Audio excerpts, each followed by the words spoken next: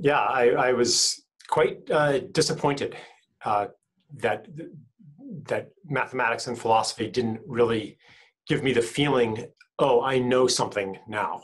Like I understand the universe better, and I couldn't make myself uh, continue pursuing that path.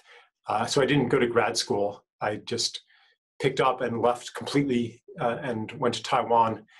And there I gained access to sources of knowledge that were not on the menu at all at the university. So that would include uh, what you might call Taoist sciences and Taoist technologies. Traditional Chinese medicine is an example of a Taoist science uh, or a, a, Taoist technology. And then there are also uh, things that I that my rational mind utterly rejected when I was in my late teens, having to do with uh, uh, energy work, you know, qigong, astrology, uh, feng shui, like those kinds of things, and and I realized through a lot of some firsthand experiences and a lot of secondhand experiences that the picture of reality that I had been given and that is implicit in the academic production of knowledge is a very, very narrow picture of reality that leaves out a lot of things that um, I had to admit were real.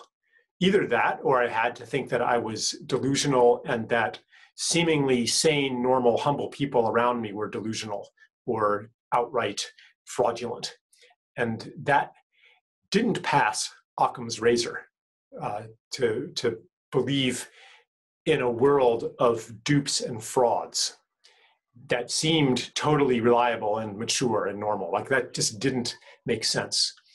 So that's that uh, accelerated or, or propelled further my quest to understand what is going on here.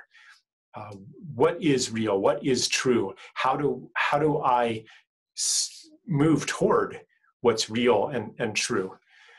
Um, and, and how do I avoid the trap of the certainty that I had experienced at university, where, which was a false certainty.